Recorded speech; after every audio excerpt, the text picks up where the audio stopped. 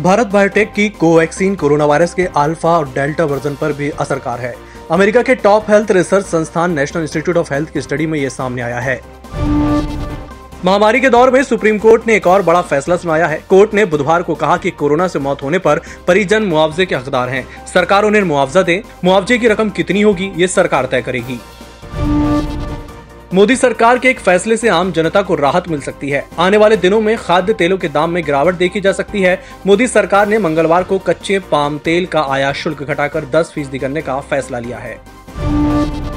Gujarat cooperative milk marketing federation के brand Amul ने दूध की कीमतें बढ़ाने का फैसला किया है। कीमतों में दो रुपए प्रति लीटर का इजाफा होगा। नई कीमत कल यानी एक जुलाई से लागू होगी। इसके बाद एक लीटर दूध की कीमत अब अड़तालीस रूपए हो जाएगी। पहले ये छियालीस रूपए थी।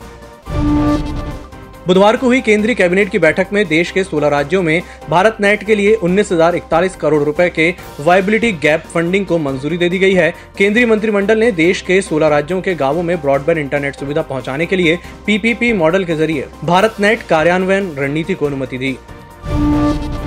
जम्मू कश्मीर के कुलगाम ज़िले के चिम्मर इलाके में आतंकियों और सुरक्षा बलों के बीच मुठभेड़ जारी है। इस मुठभेड़ में सुरक्षा बलों द्वारा दो आतंकियों को मार दिया गया है। इसके साथ ही पूरे इलाके की घेराबंदी कर दी गई है और तलाशी अभियान को तेज कर दिया गया है।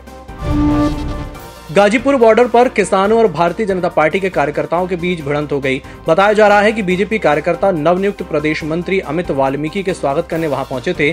स्वागत के चलते वे ढोल बजाकर नारे भी लगा रहे थे। उसी दौरान बवाल शुरू हो गया। घरेलू शेयर बाज़ार बुधवार को मजबूती के साथ खुले, लेकिन उसने अपनी बढ़त को दोपहर बाद सत्र में पूरा खो दिया।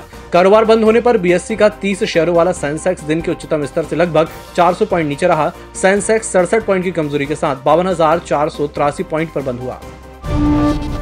भारतीय क्रिकेट कंट्रोल बोर्ड ने केंद्र सरकार को खेल रत्न के लिए दो और अर्जुन पुरस्कार के लिए तीन खिलाड़ियों के नाम भेजे हैं।